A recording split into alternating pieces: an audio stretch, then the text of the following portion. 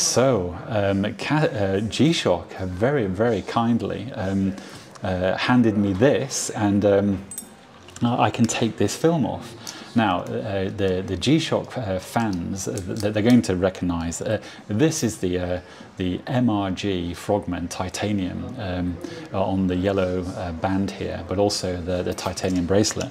So, I mean, this is a really big deal, and you know, I feel very lucky to be to be filming this. And um, it has this um, film on it, and there we go. And um, I didn't really want to take it off, but the very helpful lady said I could do. And I thought, why not? Because, you know, this is, um, you know, uh, this is a big interest of mine. And uh, in the hand, uh, this is lovely. I mean, what a watch this is.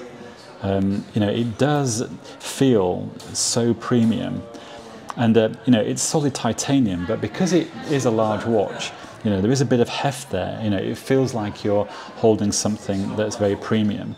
And um, I can probably put it up to my wrist like that. Oh, that is so cool.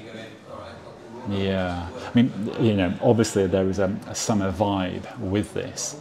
Um, but once again, I, um, I, I, keep saying it, so I sound like a break, broken record, but when these watches are in the hand, they, uh, they feel and look so much better.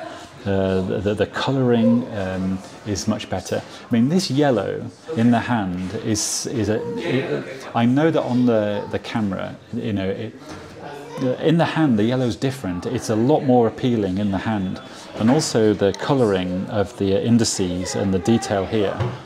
In the hand, it's better. It's so much better, and the gold colouring here it's a very, very pleasant, understated gold color. It, it looks, it, looks so cool.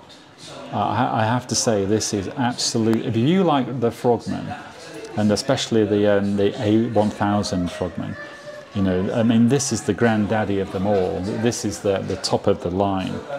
You know, you're at the top of the tree here, and uh, look at that you know, obviously it, has got a you know a very technical, large look to it. But uh, how cool is that?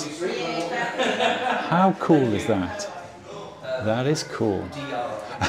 I'm not very good at the uh, um, you know thinking of things to say. Actually, uh, all I can tell you is this is cool, and it, it feels um, and and it looks. The build quality really jumps out. You know, you, you do notice it you know, it, it, uh, when you're holding it, you are thinking, wow, this looks an expensive thing. You know, it, it looks so well made. And, uh, and I know that there's quick release on these straps here, uh, so you can put the bracelet on.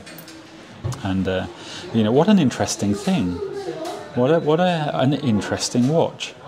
I mean, this has to be, you know, if you're a big watch collector and you collect all sorts of things, you know, the, you know, this is the watch that you're going to want in your collection because it is so different. Especially if you had the uh, the older original yellow uh, digital Frogman, and then you had this, you know, that would be something. Um, but anyway, I, I, can tell you this is absolutely fantastic. Um, it's so much better in the flesh. Uh, it is cool. Anyway, uh, I have to say again, thank you very much to G-Shock for uh, um, letting me film in the shop and show you these watches. It, it's been a real pleasure. And uh, they are so cool. Anyway, I'm going to say ciao for now.